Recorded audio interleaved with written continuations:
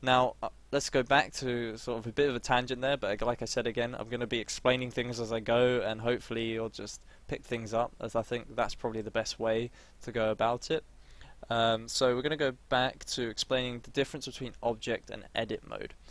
So in object mode, like I said before, object mode is the mode where we're able to move individual objects around our viewport. Now, these two cubes are separate. So if we want to edit this one, we're going to have to select it, then go into edit mode, make our adjustments. But now, what if I want to edit that one? Well, we go back to object mode, and then we go into edit mode again, and now we can edit this cube over here.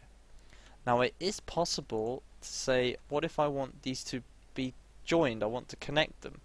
It's more than possible to do that. So we're going to learn another shortcut, and that's Control J. Control J will join two selected objects in object mode together. And then when we go to edit mode, like if you try to go to edit mode now, they're still separate. It's just taking the last selected object. But if we select the two objects and hit Control J, as I've done, these will now become um, one object. And you can actually see in our outliner here, this is actually a outline of all the high, I think it's called the, uh, yeah, it's called the outliner in Blender. Um, the outliner will show all the objects in our scene. So if I just undo that Control J, you can see we have two cubes in the scene.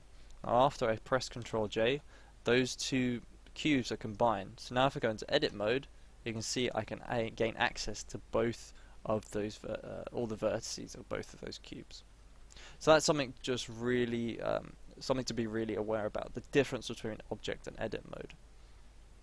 And you always, if you're unsure of what mode you are in, you can always refer down to this bar here, and you can see, oh, I'm in edit mode, oh, I'm in object mode. So I'm going to just get rid of that cube,